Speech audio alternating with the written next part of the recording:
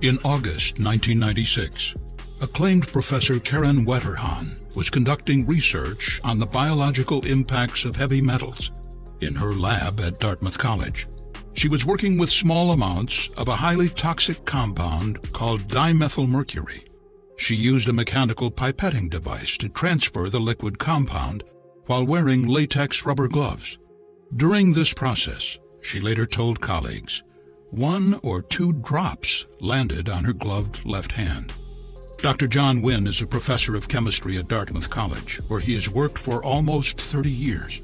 At the time of Karen Wetterhahn's accident, he was chair of the chemistry department.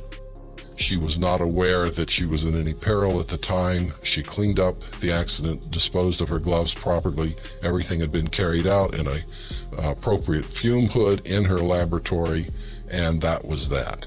The, the spill was not considered by her significant enough to report. She was in no danger as far as she knew. At the time, Professor Winn said, no one in the department knew that dimethylmercury could seep through the latex rubber gloves worn by Professor Wetterhahn. But five months later, in January 1997, she began to show serious neurologic symptoms as her balance, gait, and speech deteriorated rapidly. Despite medical treatment for heavy metal poisoning, three weeks later she became unresponsive and died in June 1997. 10 months after the accident. I think we were all stunned, not only that it was Karen, a very careful and, and capable researcher, but to find that such a seemingly innocuous event could have led to what ultimately was Karen's death was just un- unimaginably shocking.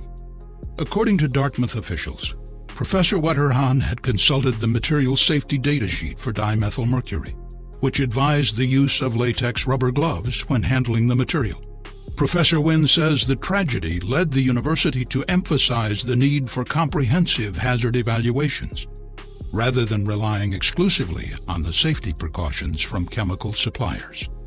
There was an increase in that sort of uh, safety instruction in the sense that it expanded into things that we had not realized required such care and detail, such as glove material.